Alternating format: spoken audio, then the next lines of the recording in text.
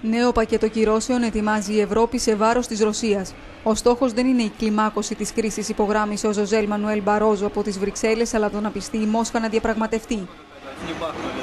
Την έντονη ανησυχία του για την κατάσταση εξέφρασε ο πρόεδρος της Ουκρανίας Πέτρο Ποροσέγκο, κατηγορώντας τη Ρωσία για στρατιωτική επέμβαση.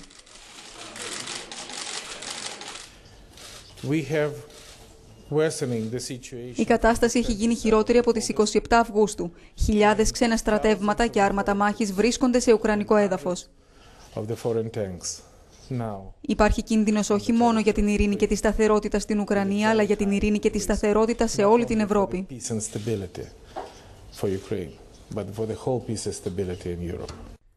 Περισσότεροι από 2.600 είναι οι νεκροί στις περιοχές Ντόνετσκ και Λουχάνσκ. Η ισχυρή στρατιωτική δύναμη στο Λουχάνσκ ανάγκασε τους Ουκρανούς να οπισθοχωρήσουν. Πολλοί μάλιστα εγκατέλειψαν τις αιστείες τους φοβούμενη πιθανή επίθεση. Οι εικόνες που φτάνουν από τον Ντόνετσκ δεν δείχνουν παρά μία ισοπεδωμένη πόλη. Οβίδες πυροβολικού έπληξαν την περιοχή του σιδηροδρομικού σταθμού, αφήνοντας πίσω μόνο συντρίμια. Το πρωί ήρθαμε να μαζέψουμε ό,τι απέμεινε. Ευχαριστούμε το Θεό που έμεινε κάτι. Άλλοι έχασαν τα πάντα, καήκαν τα πάντα. Ο κόσμος έμεινε χωρίς χρήματα.